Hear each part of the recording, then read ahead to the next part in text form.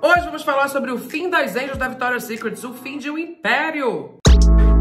Há alguns dias, o mundo recebeu a notícia de que as Angels da Victoria's Secret, aquelas supermodelos, super magras, definição do padrão de beleza, que faziam desfiles, que eram verdadeiros shows, sempre no Natal, no final do ano, de lingerie, sabe? Então, elas não vão mais representar a marca e eles não vão mais fazer esse desfile de final de ano que acontecia desde 1995. O show que a marca de lingerie fazia todos os anos com as supermodelos chamadas de Angels, anjos na tradução do inglês, foi cancelado indefinidamente dois meses depois do fashion show da Savage X Fenty, marca de lingerie de Riri Rihanna maravilhosa, que aconteceu tudo isso em Nova York. E que foi babado, né, gente? Riri arrasou nesse desfile, que mostrou representatividade, iniciativa e muito poder. E claro que uma marca com tanto poder e tão diferente da Victoria's Secret, ganhando tanto espaço no mercado como a Savage X Fenty, passa uma mensagem difícil de ignorar para Victoria's Secret, né? E a reação da Victoria's Secret foi justamente rever, finalmente, a cultura de misoginia, gordofobia e falta de inclusividade e representatividade deles pelo menos aparentemente. As Angels estão sendo substituídas pelo coletivo VS Collective, as participantes do coletivo são mulheres que representam o propósito da marca por serem quem são, não somente pela beleza.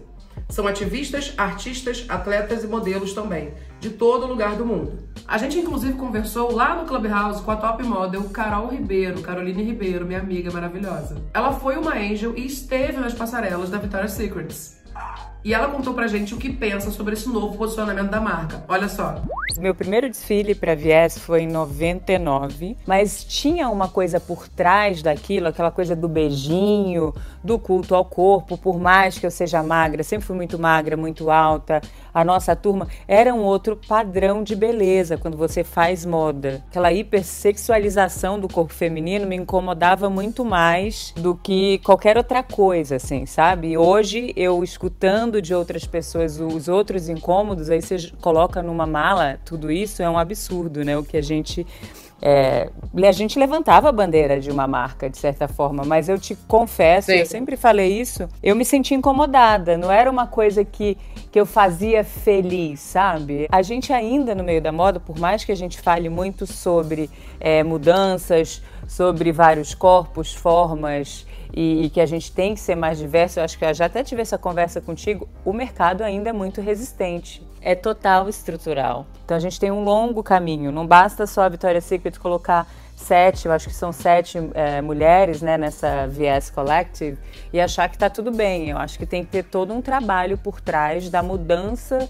real de comportamento. Mas isso já vem mesmo muito atrasado, né? Vamos combinar. Teve que rolar muita controvérsia envolvendo a marca, que preferiu cancelar o show em 2019 a ter um desfile diverso. Ed Hazek, ex-executivo da marca, disse numa entrevista à Vogue que não teria pessoas trans no desfile porque, abre aspas, o show é fantasia.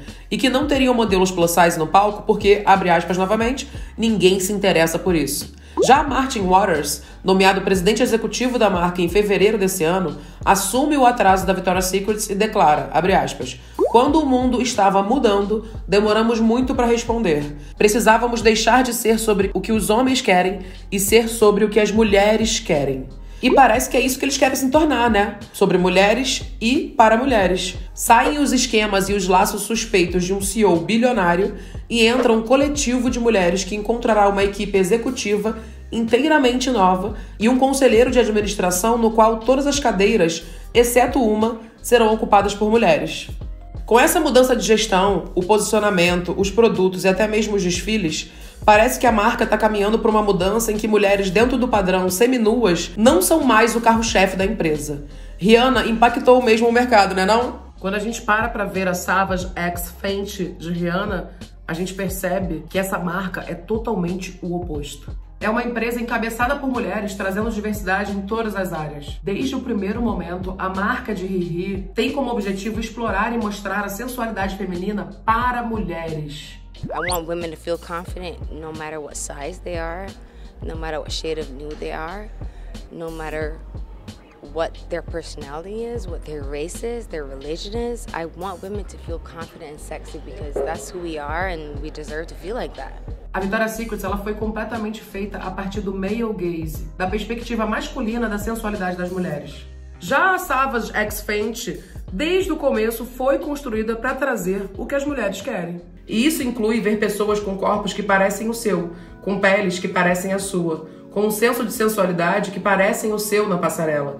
E não só mulheres que são a definição de ideal inalcançável de magreza e de beleza, desfilando em lingeries que com certeza não vão ficar tão glamurosas em corpos fora do padrão. A Victoria's Secret, ela sempre me atingiu de vários níveis, em vários momentos, né? Eu lembro que quando eu assistia o desfile no final do ano e eu trabalhava com jornalismo de moda, falava sobre esse assunto sempre no final do ano, eu queria ser uma angel, eu queria ter a barriga negativa da Kent Swanepoel. Não sei se vocês lembram disso, que surgiu a barriga negativa da Kent Swanepoel, então eu queria ter a barriga para dentro, uma linha na barriga. Eu queria ser uma Quem não queria ser uma Angel? Quem não queria ter esse título? Quem não queria ter aquele corpo, né? Que era o auge, a definição do padrão de beleza.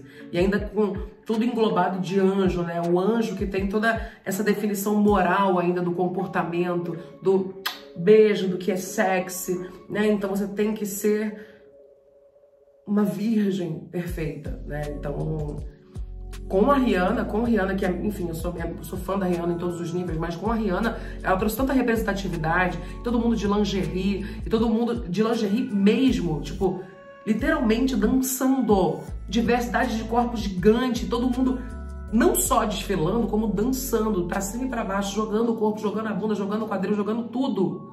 Aquilo representatividade, eu fico até arrepiada de falar de tanto que a gente se vê em vários lugares ali, a gente, no final das contas, lembra, caramba, é sobre a peça de roupa? Não, é um conceito, é uma cultura, é uma mudança cultural. É sobre isso. Ela fez tanta pressão que ela tá mudando literalmente uma cultura, porque o fim desse império é o fim de uma cultura que oprime e enaltece a magreza durante anos, perpetuando isso. A verdade é que mulheres normais, elas só poderiam sonhar em se parecer com as angels, como eu sonhava. E por que sonhar e se sentir cada vez mais insatisfeita consigo mesma e pior com a comparação, né? Se você pode ter uma coisa que te representa, que te inclui, que te torna linda em outra marca. Você estava sabendo dessa notícia? Me conta aqui nos comentários o que, você achou disso e compartilha com todo mundo, porque eu achei realmente um marco histórico o fim das Angels. E aí, o que, que vai ser agora? Bora esperar, bora ficar de olho e bora também cobrar se a gente não perceber que a marca tá cumprindo. Mas vamos acreditar, né não?